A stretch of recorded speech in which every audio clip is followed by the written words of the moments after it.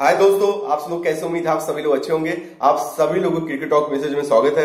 मेरा नाम सतीश मिश्रा देखिए, भारत वैसे West Indies second T twenty match अभी जस्ट खत्म हुआ है और क्या शानदार मैच है। दोनों टीमों ने बहुत ही अच्छी मैच खेला है। देखिए ऐसा मैच हुआ कि लास्ट ओवर के लास्ट गेंद तक किसी को नहीं पता था कि किसकी, किसी साइड मैच जा सकता था वेस्ट भारत जीत सकती मैच या वेस्ट इंडीज के भी जीत सकता था। एकदम नेल बैटिंग मैच खेला गया। देखिए वेस्ट इंडीज पहले टॉस जीत पहले गेंदबाजी करने का फैसला किया और शानदार उनका गेंदबाजी इस पर रहा देखिए, रोहित शर्मा कुछ खास नहीं कर पाए, रन, बॉल बना के आउट हुए। किसान किसान, दस गेंदों के दो रन बनाए और देखिए, बहुत ही फ़र्स्ट मैच में भी कुछ खास नहीं किया था। सेकंड मैच में भी उन्होंने बहुत ही खराब बैटिंग की। देखिए, विराट कोहली ने बहुत शानदार बैटिंग की और 50 लगाया, उन्होंने बहुत इंटेंट के साथ खेला। स्टार्टिंग बहुत तेज खेल रहे थे अच्छा खेल रहे थे।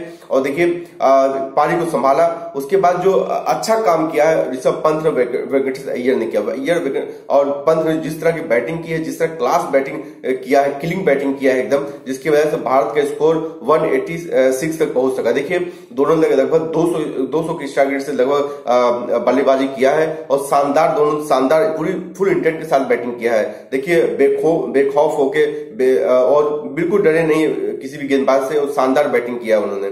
देखिए विराट कोहली की अगर बात करें तो देखिए काफ़ी अरसे से उनकी फॉर्म को लेकर चर्चाएँ हो रही है। तो आज जो उनकी 50 आई है, और अच्छे मैच 50 आई, क्योंकि भारत ने मैच जीता है। जीत में उनका योगदान रहा इसका मतलब 50 उनकी जो थी, और ज़बरदस्त आई इसका मतलब। देखिए जब रन बनते हैं और हार में रन बनते हैं तो उसका कोई मतलब नहीं रहता है उसका। लेकिन जीत में रन आए हैं तो इसका मतलब अच्छा रन आए क्योंकि अच्छे फ्लो में लगे, थोड़ा क्रिच का गहराई का भी यूज़ किया उन्होंने, थोड़ा निकल के भी शॉट मारा, एक छक्का भी मारा स्टेट ड्राइव शॉट खेले तो अच्छा कुल मिला कि अच्छा अच्छी बैटिंग किया उन्होंने।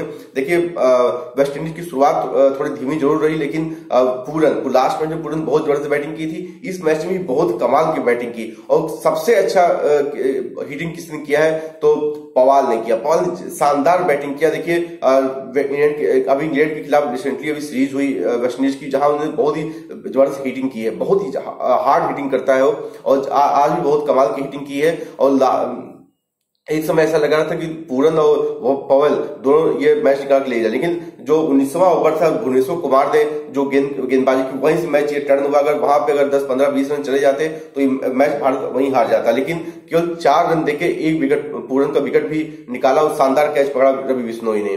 देखिए लास्ट लास्ट ओवर में लगभग पच्चीस रन चाहिए था और शानदार गेंदबाजी की हर्षल पटेल ने। दो छक्के ज़रूर खाए, लेकिन मैच सेव करके भारत को दिया।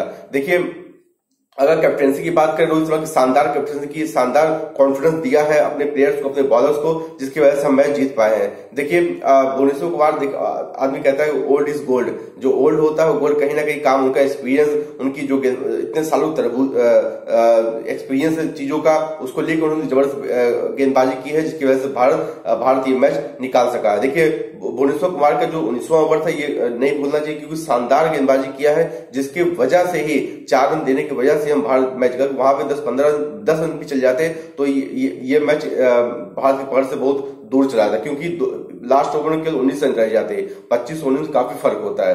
आई होप आप लोग वीडियो अच्छी लगी हो please subscribe my channel video को लाइक कीजिए बेलाइकिन प्रेस कीजिए मिलते हैं नेक्स्ट वीडियो में सभी लोग अपना ख्याल रखिए बाय टेक केयर